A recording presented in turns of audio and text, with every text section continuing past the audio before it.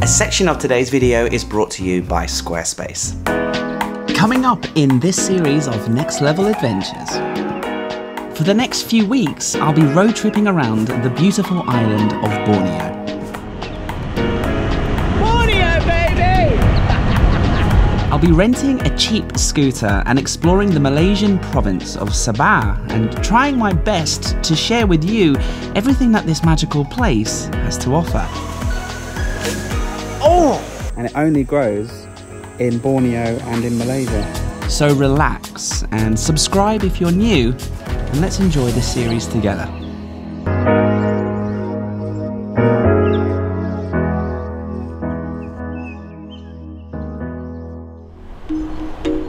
So, welcome back, and we pick things up somewhere in northern Borneo. I'm about 50 clicks north of the town Kota Kinabalu, and I'm getting quite peckish. Okay, guys. We have made it to a town called Tuaran. Not far, only about an hour up the road. And uh, first impressions of driving in Borneo. The first one is Brittany, the little Honda. She's not very good, to be honest. Rattling around, keep banging my knees on the plastic front thing whenever I hit a speed bump. But she'll get us there. That's the main thing and uh, it's hot. Oh Jesus, it's hot. It was raining all day yesterday, and I thought, oh, do you know what? It's nice and pleasant here. Nice sea breeze, cool temperatures, but today, oh, it's it's scorching. Good thing about being back in Malaysia, because I've been here before many times over the years, but never on this channel. But uh, this is one of my favorite drinks. And you very rarely find it anywhere else. It's kind of like an electrolyte soda thing very refreshing. This morning when I went for breakfast, uh, Robert recommended me to stop here actually at this specific town, at this specific noodle joint because he says it's very famous. Lok Kun, and they have a famous Tuaran Mi noodle dish here which they're rustling up for me. And you can have it in chicken or pork or seafood, but I went with beef.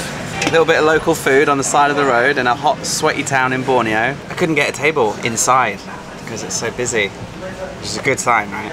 It's a nice atmosphere to Borneo. It's all quite laid back. When I stopped for petrol, I had a five minute chat with the guy who filled up the tank. He asked me where I was going and he gave me some advice. He was telling me about other big bikers that had also filled up today that are also going to the tip of Borneo. So people are just curious, they're very friendly. It's nice. Thank you. Here we go, the local delicacy. Looks like a pretty basic dish. Some noodles, some pak choy, right? Some vegetable, some cabbage, and the beef on top. The good thing about Malaysia, every restaurant I've been to so far has a very nice homemade spicy sauce to help liven the dishes up. I think Malaysian food is very famous around the world, right? It's got a good mixture, a good combination of Chinese style, local Malay style, and Indian. We'll try some of the vegetables and the beef before we try the noodles. Mm-hmm. If I drown it in this chili sauce, just take it to that next level. I'll leave the Google Map link for this place in the description if you do find yourself in Borneo doing a little road trip. Because, uh, yeah, I highly recommend this little noodle shop here in Tuaran. Nice little place. So, after that hearty lunch, it was time to get back on the road. I'm not gonna lie, I would have loved to have rented a bigger bike, something with more power, but more importantly, much more comfort. You see, the roads here in northern Borneo have so many potholes, and the surface changes from slick tarmac to gravel every few hundred meters or so, or so it seemed, and so the ride was slow going. But even so, driving in the tropics is always a pleasurable experience. And after four hours or so, I saw the turning for the tip of Borneo, and our destination for today was getting very close.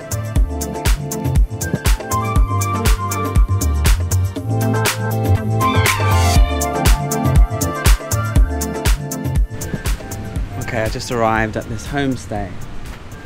Tumo, how do you say it? Tumo? Tumbavoy. it's right on the beach, Yeah. and uh, the tip of Borneo is just up the road. So maybe we'll go there for sunset. But first, I just need to rest my weary eyes. That was quite a long drive. How much is this room? 150. 150. Okay. Thank you. Okay. It'll do. It'll do. Oh, okay, there's aircon. And, uh, yeah, whatever. I've got the best view in the house. Yeah. So, you stay or no? Yes. Okay, you register first. Okay.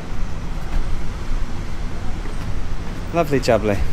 I've checked in and the place is nice, the resort. It's right on this beach. And there's a quite a few foreigners, tourists here, and according to the people's nationality on the check-in sheet, most of them are from Sweden, which is interesting. And there's a few people out there practicing surfing. And there's a few other little chalets it seems pretty straightforward. Sadly, no Wi-Fi and no beer.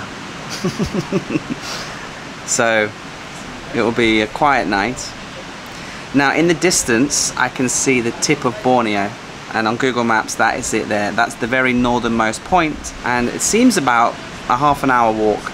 So since we've been on the bike for about four or five hours today, why don't we go for a nice stroll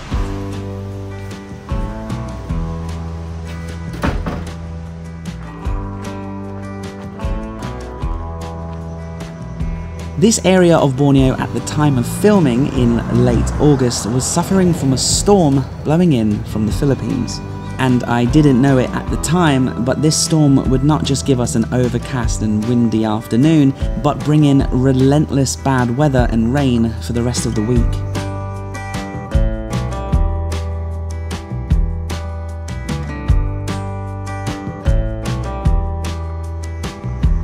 And for the worst weather still forecasted for later tomorrow, I took the opportunity to enjoy the afternoon as much as possible. There is this monument here at the northernmost point to mark that exact fact, and it's a really nice little area. The locals come here all the time during the day to take photos and to enjoy a spot of fishing off the rocks.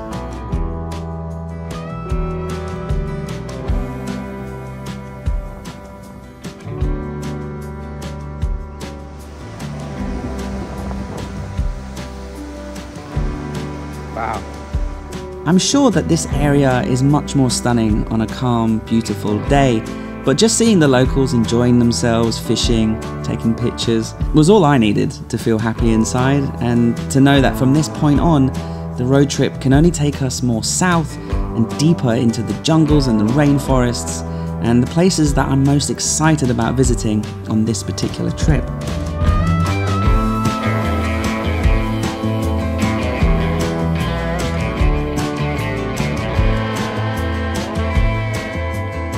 And being the proper pisshead that I am, I managed to find a little shop that sold beers and I grabbed a few, went down to the beach to enjoy what would be actually the last time for a very long time that I would see the sun.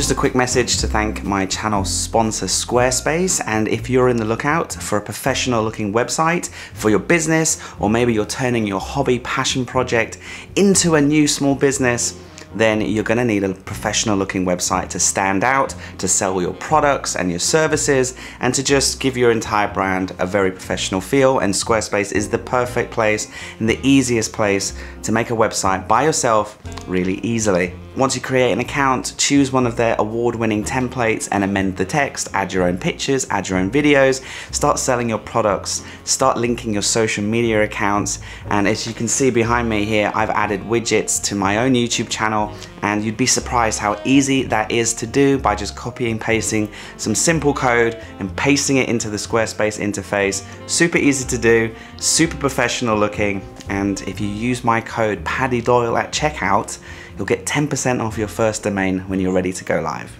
Thank you to Squarespace for sponsoring this video. Let's get back to Borneo. Okay, welcome to uh, the middle of nowhere here. and uh, it's been a couple of hours just driving through the mountains, having some fun. It's nice to be back in the mountain areas. It always fills me with so much joy. And as I was driving along, I saw this line of minivans and a sign that says that there is the Rafflesia plant growing here and that it has flowered. Now this is the largest flower in the world and apparently it's beautiful and it stinks because it um, attracts flies and bugs and things to help germinate through the terrible smell. And I've just paid 30 ringgit on the side of the road. Honestly, nothing for miles. And then I saw it, pulled over, and here we are.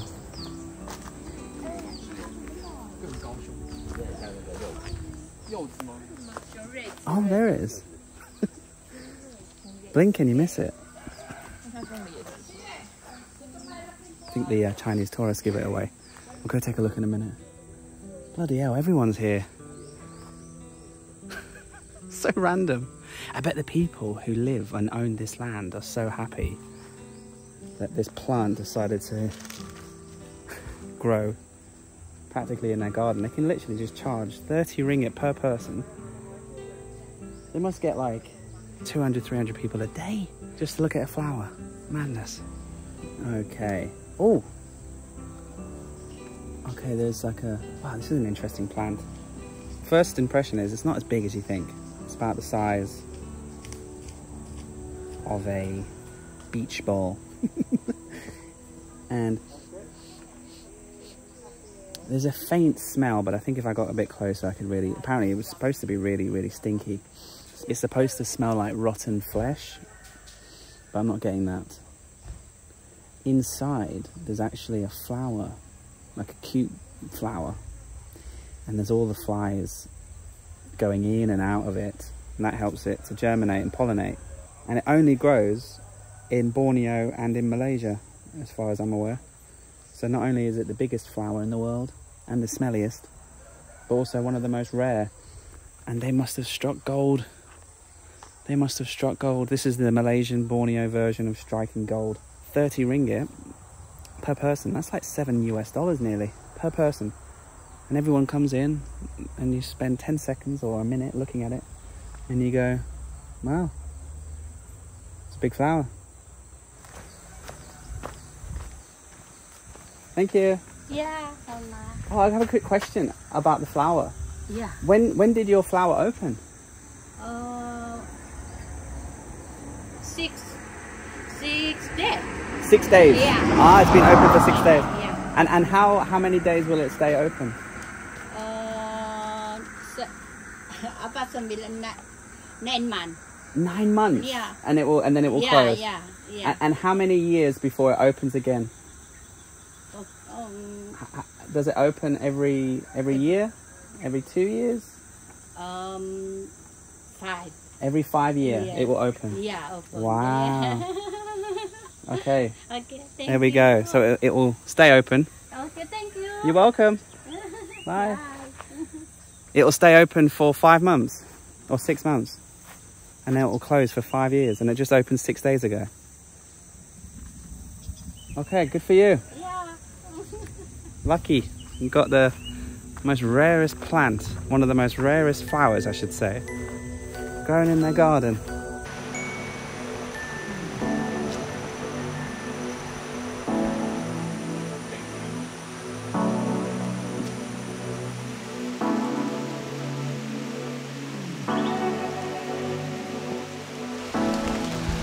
Okay, into the jungle of Borneo we go. First time on this trip that we get a sense for the jungle by doing this canopy walk. And you've got to keep your voice down and keep an ear out for the wildlife. God knows what we'll see. Um, there are a lot of people at this park, coach loads, but I think the rain scared everyone off because everyone came running off the canopy walk on my way up here. I had to pay another 10 ringgit just to get into the canopy walk. So the entrance didn't include it, which is a bit strange. But anyway, we're here now.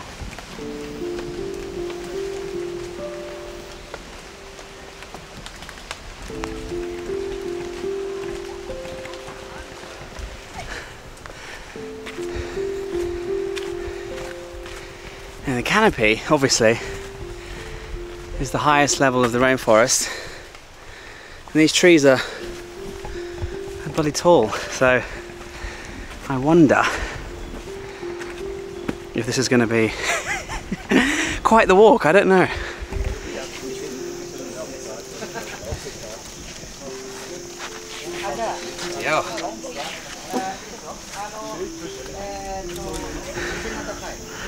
Okay.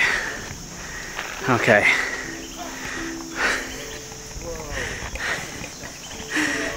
This is definitely a two-handed job because it's not balanced. So you have to balance it with your body weight. So if I lean to the left, the whole thing wants to go to the left.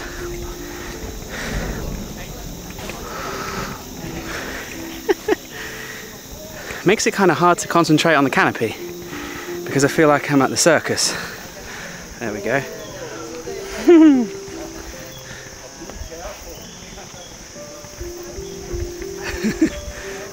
Sweating buckets. As you can imagine, with that storm that's growing on top of us, it's sucking up the moisture from the rainforest that we're in. So you can almost feel the moisture being sucked out of you. Trying to find a frog. A frog or a, trying to find one. Let's have a look. Any frogs, any bugs, any snakes? Oh, snakes. Oh, there's a snake. Okay, Jesus, the wood is starting to rot and break apart. That's not good.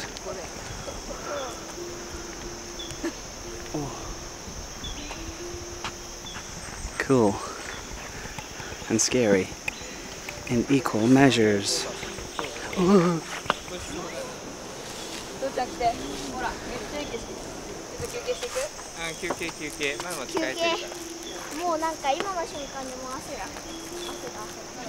I can see a lizard, but it's camouflage and far away. He'll be able to get it on his camera, I can't because I haven't got the right lens. It is.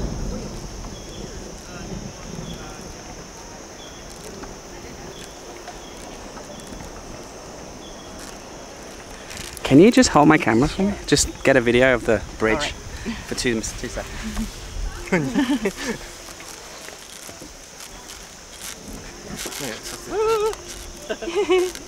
okay. 力写真撮るの素敵やな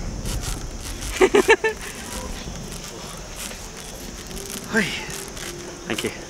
怖いですよね。怖いですよね、これ。足すくみました。 Okay. Goodness gracious me. This is fun. I'm glad I came here. If the bridges were a bit more stable, we could actually have a look around properly. But the problem is, it's actually terrifying.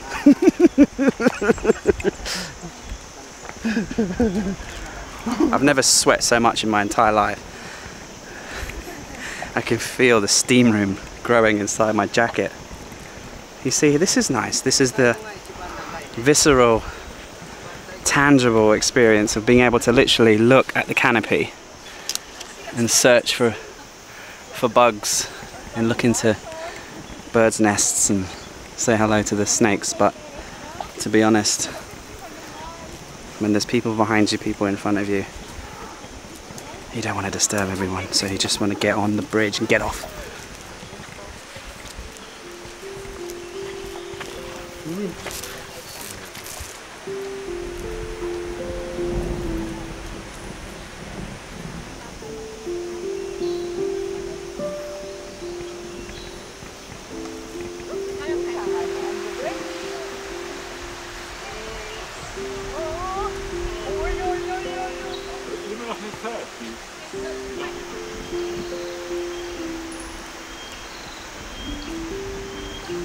Really recommend coming here. Really recommend it. Quite expensive, but what an experience. I wasn't really expecting this. I was thinking, I was expecting it to be a little bit rubbish. Because I've been to a few canopy walks before and it's, it's not like this. This is exhilarating. And look, just listen. All the birds. Beautiful experience, if not a little bit terrifying.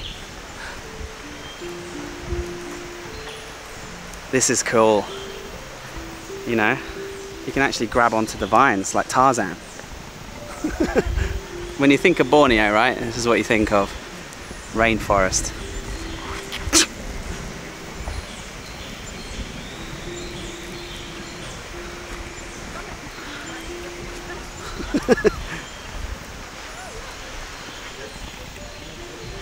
Nearly there.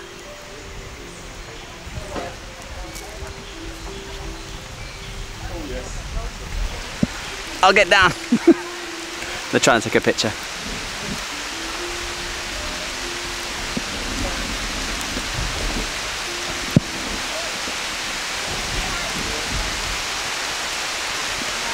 Wow, it's raining in the rainforest of Borneo and we're in the canopy. Freaking cool.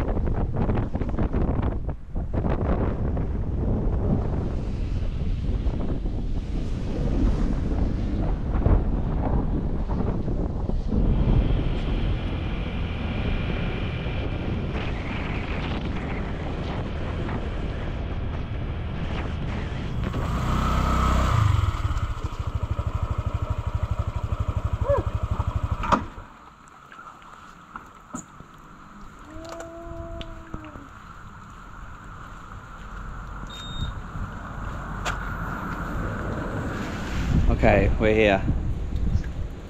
I'm cold and I'm wet. I found a place on booking when I was at the canopy having lunch called George Adventure Base. And I chose it because it has an incredible view of Mount Kinabalu. Although I don't think we'll get much of a view today. Maybe tomorrow. anyway, let's check in. Let's dry and warm up. I'm soaked absolutely soaked and cold. Ugh.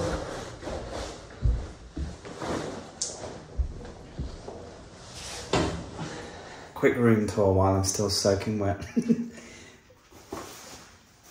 Everything. I mean, these are actually waterproof, but in that weather, you know, if you're driving, like that was an hour and I just got destroyed. Eventually the water just comes through.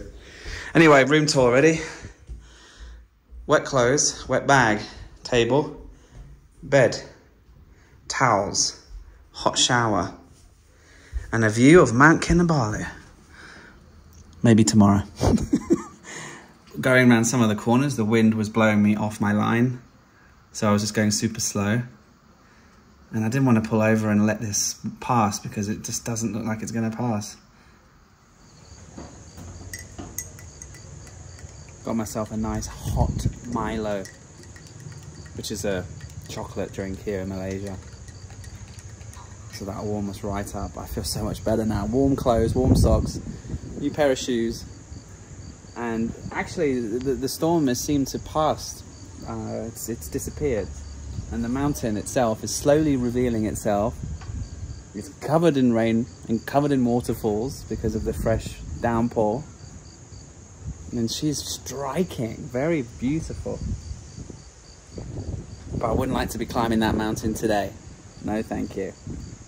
We are due to climb this, by the way, but not till the end of the trip. So I'm glad I didn't book it for today, because I'd be terrified going up that in this weather.